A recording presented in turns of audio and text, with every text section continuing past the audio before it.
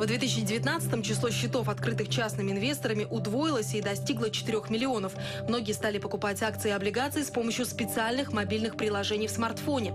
В марте 2020-го фондовый рынок рухнул почти на треть. Но в отличие от предыдущих кризисов, когда люди в панике массово выводили деньги с биржи, на этот раз россияне скупали подешевевшие активы, а число счетов перевалило за 5 миллионов. Из них половина ИИС – индивидуальные инвестиционные. Связано это, конечно, с тремя причинами. Э, Основные две объективные. Первое – это резкое снижение ставок по депозитам, связанное с снижением э, ключевой ставки Банка России.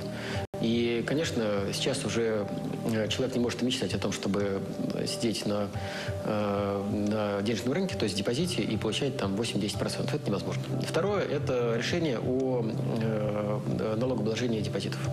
И поэтому люди, у которых значительные депозиты по размеру, они, конечно, начинают понимать, что они будут платить с них подоходный налог. А В то время как НАИС – это дополнительная возможность вывести свои доходы от инвестирования на финансовые рынки от налогообложения.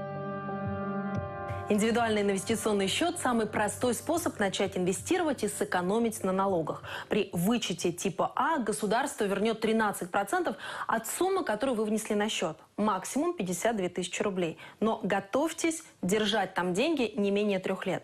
При вычете типа Б вы освобождаетесь от НДФЛ на прибыль. Максимум, который можно внести – миллион рублей в год. Возможно, сумму утроит. Возможно, э, это можно будет увеличить до 3 миллионов рублей ежегодный взнос. Плюс э, э, предусмотреть действительно э, э, вопрос возможности снятия средств без потери налогов в определенных э, ситуациях, э, таких как, если деньги пролежали там больше трех лет, и второе, если у человека э, сложилась тяжелая жизненная ситуация.